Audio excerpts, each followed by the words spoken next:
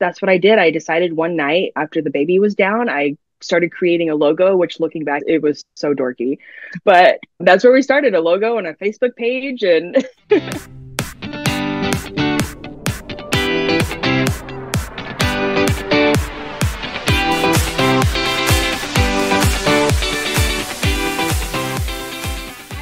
Welcome to Business Brief, where we indulge in bite sized business and legal tips just to level up your business. I am so excited today because I have the most wonderful and very talented baker, chef, cookie maker, Mateto Pops owner, Courtney Sanchez. She is our guest today, and I am just so happy to have her here and talk all things about a bakery and how to make those amazing cookies, and alongside getting some bite sized business tips. So, welcome, Courtney. Hi, thank you so much for having me. Yes, I am so excited. So I had the chance to go on. I mean, I always, you know, do a little bit of research on all my guests, so that way I kind of know what I'm talking about, also. But I, I just, I'm so amazed by the websites that all my guests have, and then all the unique qualities that those websites have. Especially yours has the most beautiful images of your productions oh. and your designs. Your cakes are phenomenal. I saw a Lego cake on there and I was like, gosh, I wish I knew her oh when oh I had a Lego party for my son's birthday. and so, Thank you know, you. It's, it's pretty amazing what you do. I know I can't do it. So I think it's such a gift. And so tell us, what do you do? Give me one sentence. What is your business and what does it do? so I own Mateto Pop in Humble, Texas, and I offer just top notch custom treats, mostly cookies and cakes, but I really can branch out to just about anything that I can legally sell. I love that. And are you working out of a warehouse or are you working from your home or a bakery? Where are you working from? So I work under the Texas cottage food law, which means that I am allowed to bake from my home. And I'm really fortunate to have a big space in the back of my home where I can work peacefully without my kids. yeah, it looks pretty amazing. I know we were talking about that right before we started, and I was like, I mean, it's legitimate. You're yeah. legitimate, obviously, but it looks pretty darn like as if you're sitting in a commercial kitchen. and so Yes, I wish. One day we will be commercial. but yeah, Absolutely. right now I, I, wanted to make sure that I had the space and it works. Yeah. And so tell me, how did you start your business? So my business started almost out of necessity. I had left my retail management job when I had my first son just to stay home with him. And his first birthday was coming up. And I thought, gosh, like we really didn't have the finances to buy all of that fun, you know, birthday cookies and cakes. And I was like, well, I'm creative. I can figure this out. And that's where it started. I just started researching how to make his cookies and it kind of wow. blew up from there. Yeah. That's incredible because I feel like I'm creative, but I cannot do what you do. So, did you have an inkling prior to that? I know you were working in retail, you said. yes. Did you ever bake before that or dabble in baking? No, never. I've always been a really creative person. I actually kind of hate saying that because it sounds so cheesy, but I that's just what I do. I've always been really creative. And uh, I was walking around a farmer's market and I saw somebody else making those like decorated sugar cookies that were custom. And I thought, those are so pretty, but I'd never done it. And I just did what I like to do and I started researching it. I really like to indulge myself in like YouTube videos and TikTok and whatever else there is out there. And I just taught myself how to do it. That's awesome. I mean, I, I feel like that is truly a superpower within itself. and so, when did you make it a business, though? When did it really truly become a business? Oh my goodness. Uh, so, I don't know that there was really like a defining point necessarily. I started like posting my pictures on my own personal social media. And then it started with family members, you know, can we get some cookies for so and so or, you know, and I thought, gosh, this is really my opportunity. I missed having my own income. and I missed having like a purpose that was outside of being a mom. Mm. So I just decided, you know, I'm going to do this just for me. It was going to be really small at first, just so that I could get a little bit of, you know, my own money if I wanted to take the baby out somewhere I could. And that's that's what I did. I decided one night after the baby was down, I started creating a logo, which looking back, it was so dorky. But that's where we started a logo and a Facebook page. And hey, that's um, I did start. Yeah. And then I realized that there's kind of a lot to being a home baker in Texas. Not a lot, but you have to know what you're doing.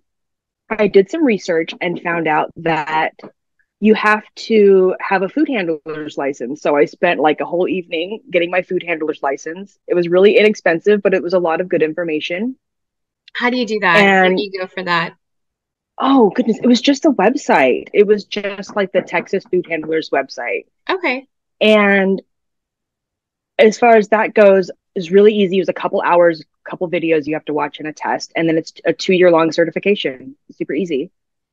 And then I found out that there was a website for the Texas food cottage law, like stipulations, what you can and what you cannot sell. Mm-hmm. And that really narrowed down what I was allowed to do. And there's a website for that too. It was super easy. Yeah. And I'll put them all in the notes as well. And I kind of wanted to talk to you about that a little bit about the, you know, food cottage law. And I know Texas has one and most of the states mm-hmm. have their own laws. Yes. And they govern how you can start an in-home you know food business whether you're a baker whether you're creating pasta or other types of food as well right and so aside from the food handlers certification and you know reading about what you could or could not actually sell out of your home what were some other compliance aspects that you had to do in order to start your business at home so it's pretty easy. I am not allowed to sell anything that has to be refrigerated. And that that's kind of the basics. If it's going to be unsafe being outside of a refrigerator or the temperature control, you know, if the temperature has to be controlled on that food item, then I can't sell it. Mm-hmm. And I think that was really important for me to figure out because you know a lot of people they want cheesecakes or they want pumpkin pies and things like that and I can't sell it legally. And it was important to me to follow those guidelines so that my business could get as big as I wanted it to. Mm-hmm, mm-hmm. So, cake is not temperature controlled? Not technically, no. It can sit out. A lot of bakeries do. Once they bake the cake and start assembling, it can sit out for a couple days. I mean, it might not taste great, but it's not going to kill anybody. So. awesome. Did you need any other types of licenses or permits also? No, not at all. Not at all. And I think that's why, especially in Texas, it was such a good opportunity to start this business from home. I didn't need much. As long as I was following those few rules, you know, I could really expand my business. Yeah, I mean,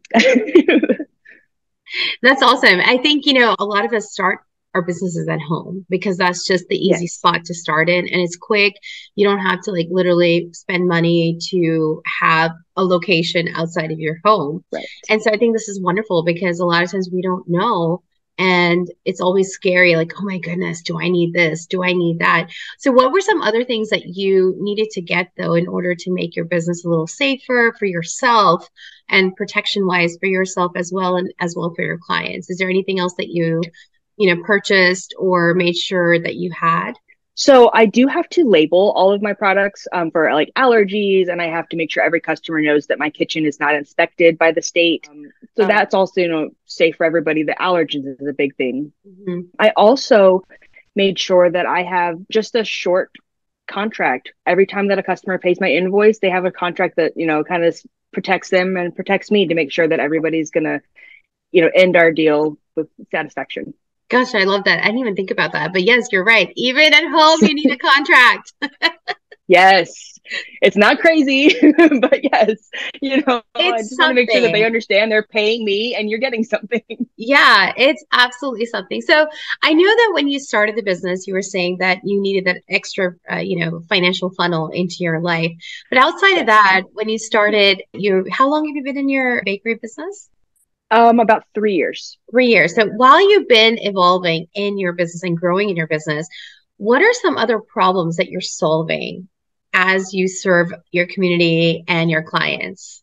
That's a funny question. When I thought about this last night, I was like, well, they want cake and I'm I'm providing cake. but really, um, I they think that, that my business yeah, they want sweets. Here's your stuff. I think think that my business right now is really unique because I am able to offer that personalized attention to their, especially for wedding cakes. I mean, mm. I'm not a big box. I don't have employees right now. So when you're talking to me about your wedding cake or your special event, I'm the one who's going to be touching it. I'm the one who's going to be creating it. And I think that's really unique in some aspects because you're not just getting, you know, somebody jotting on a piece of paper, okay, they want a white cake with some lace and they're going to put some flowers on top. You know, Yeah. this is me. I get to know you. I get to know your fiance and your family and tell me about your venue and your dreams. And I try to make sure that their event, you know, comes together with, with my treat tables. Gosh, I love that because truly, especially, you know, weddings and all, you get into the whole hoopla and sometimes you get lost in the middle of all of that. And so when you Yes. first started and you made your first cake, like when you baked your first cake, was it as spectacular as all the photographs on your website? Or were you like, oh my gosh, what did I just do? That depends on which story you want. so the first cake I ever made was my son's first birthday cake, and my mom will attest. I cried myself to sleep. I cried myself to sleep. Like, that's the ugliest cake I've ever seen. I thought I could do it. So because of that situation, I did not offer cakes for two years. I was like, I can't do them because I don't. I'm never going to offer a product that I don't know that I can send out the door at 100%, you know, of my ability Yeah. to I want people to be happy with what they're paying. They're paying me a lot of money. They they deserve to have a nice cake. So I spent, you know, many months talking with friends and my peers and figuring out what I was doing wrong. And the first cake that I actually sent out the door was it was a little farm cake. It was so cute. But I did. I put everything I had into that little farm cake with the little animals and the little fence. And you know, it was cute. I've definitely seen progress since then, but but yeah, it, it was cute. I like that you said that because I feel like, you know, sometimes a lot of us start something and we fail miserably. Like, and I use the word fail very loosely because honestly, I don't believe in failures per se. I just feel like they're moments where you can grow and learn from. But we're looking at it and we're like, this was a disaster. And Yes. you feel really bad about yourself too. And it might even, you know, that noise might start in the back of the head saying, you're not good enough, or you can't do this again, or you're not doing a good Oh, job yeah. for your customers. Or even like, I wonder what they're thinking. Oh, my, they must think I'm Mhm. just really bad at what I do. So two years later, how did you pick yourself up again and get the courage to, you know, bake that cake and sell it? Like, what happened in those two years that changed?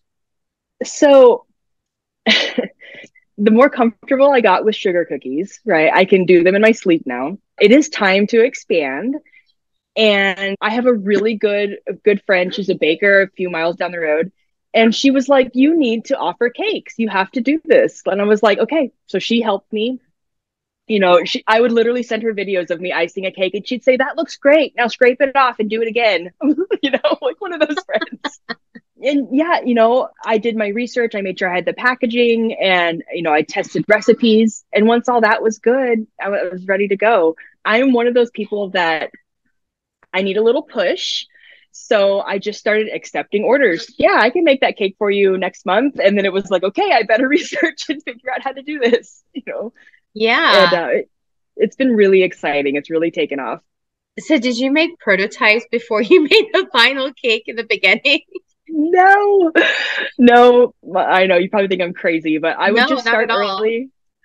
I had all my friends on speed dial in case I needed help, and I just dive in. And, you know, as far as the creative process goes, once I understand what I need to do, I'm really good at troubleshooting, Mhm. and uh, it just it falls into place. Yeah. And I want to highlight something that you mentioned about calling up your baker friend and then having your Oh, yes. friends on speed dial. It's so essential to have people that can give you that encouragement, that can give you that push, Yes. and that you can also lean into and get help. I mean, I think it's incredible that you have a baker friend who didn't feel threatened by you and was Oh, no. actually a mentor to you. I I mean, that's beautiful. And we need to have more of those friendships. And we need to be more of those people to others as well. Yes, yes. I think that's really important. One of the big things I see, like on social media, I'm on there a lot if you can't tell. I see a lot of new bakers that are like, oh my goodness, like somebody's opening a baking business like in the next block over, or Sam's is selling cookies for, you know, half what I sell them for. And it's like that's that's not what it's about. Yeah. You know, you you focus in on on your business and then you find your community and there's enough customers to go around. Yes, so we've been we've been driving a lot. Like we went for the the holidays. We like you know drove to Colorado from Texas, which is I kid Oh, you wow. not, it felt like a like a full one day trip. Like it was so long. that's forever. It was lovely though. I actually enjoyed going to the back roads of the US. I think they're beautiful. You also realize though, there's so many small towns. There's so yes. many people. They're places that we've never explored or seen before. And they could need our services. There could be a party happening in a small town and they need some good cookies and they don't want to get yes. typical cookies that you get maybe from Walmart or Sam's. They want something unique and something for them. And right. that's where you come in, right? Because Humble's a pretty small town too. Um, but it's lovely that you're able to provide that to your community in that space. Yeah. I just really think that making that that community over like competition is so important. Yeah. I mean, I have so many like baking friends that have gotten me out of a tight spot or you know we've split the cost of packaging or you know we send customers to each other and it's, it's just so important to, to help your business grow yeah to, to realize that you're not in this alone you know there's a lot of you around how did you make those connections? You know, being at home can be isolating also. I don't yes. know if you went to conferences or what, but how did you make those connections to increase your baking community and network? So, as far as my baking community, I really started by just joining like local baking Facebook groups. I met other bakers like at farmers markets or, you know, small events like that. And then for my wedding networking, I actually joined the AWP, it's the um, Association of Wedding Planners. I asked to be one of their vendors. And so I go to their conferences and I, I network there to meet some planners and things like that. Awesome. That is so awesome. So we are about to, you know, close up our conversation. However, before we do that, I would like to know what is one of the biggest challenges that you had since you have you know, actually not even since you've started your business, but even prior to that? And how did you overcome it? Um, well, one would be motherhood. You can probably hear my toddler knocking on my door. so I work from home and I, I, have to balance those kiddos. But outside of my home, um, I would say the biggest issue more recently would be like inflation, my ingredient mm-hmm. costs. Everybody is concerned about that. And I think it's been really important to just understand that you know that cost my $25 a case for eggs you know that has to transfer to the customer in order to continue to be successful. And i have to be confident enough to to pass those costs along to the right person. Right. And how do you communicate that to your clients? You know i kind of take the approach of just i'm not chatty about it. You know they ask me for a cake and i say okay i can do that. And i quickly figure out my costs. I know my ingredients. I know my recipes and this is what I need to charge you. So if you'd like that cake, it'll be this much. Okay. And, you know, take it or leave it kind of thing. Yeah. I like that you said I'm not chatty about it. Sometimes we become chatty about our prices because we're ourselves not comfortable yes. and confident in it. And I say it with absolute experience on my end, by the way. And so I just like how you're like, this is how much it is.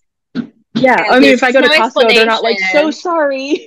yeah, or you know, you could give an explanation of the services you're providing, but uh, outside of that, you know, the back end of it, I like that. I think that's a grand. That's my takeaway right now, aside from all the other things. but I love that.